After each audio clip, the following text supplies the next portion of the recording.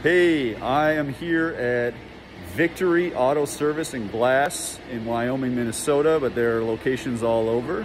I'm here with, with Brian, my buddy here, and he's gonna explain a little bit about the paint used to paint the catalytic converters to prevent them from, uh, hopefully prevent them from being stolen.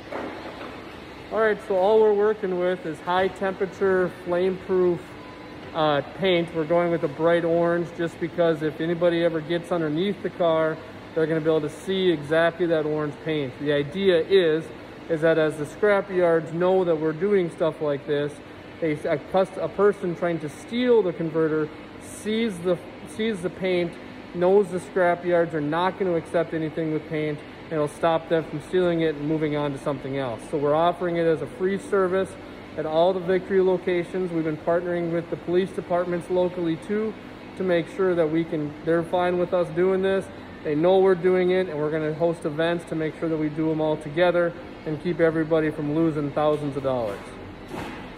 Awesome, so we'll see how they do it.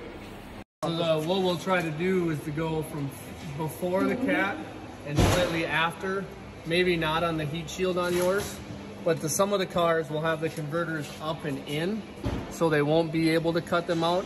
But the idea is they come in with a sawzall, they cut them here, cut them here, Sometimes they use a small, those chain ones. Yep. They cut them off, pull them out, and they're completely gone forever. So the simplest idea is you just want to put some out there. Yeah. Just make sure we don't spray all the other stuff. Yeah, go for it. Just a take.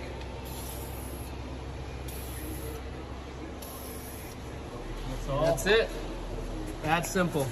That's simple. Perfect that was it. That took like, I don't know, 10 seconds. These guys are awesome. And again, uh, Victory's all over the place.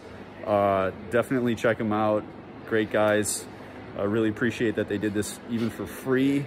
Uh, yeah, happy and I'll get my other car done here uh, soon enough as well.